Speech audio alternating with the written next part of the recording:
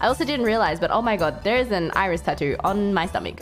Oh my god, I never thought about it now, but that is quite a nice design for a tattoo. Can you imagine that on like your back or somewhere? You put it on your arm like a Fairy Tail tattoo. That'd be pretty sick. I think it's because of the wings. It reminds me of Fairy Tail. Awis, ibis. Wait, I'm surprised you watch Fairy Tail. What are you talking about? Yo, Fairy Tail is amazing. I finished Fairy Tail. Fairy Tail is great. What do you mean?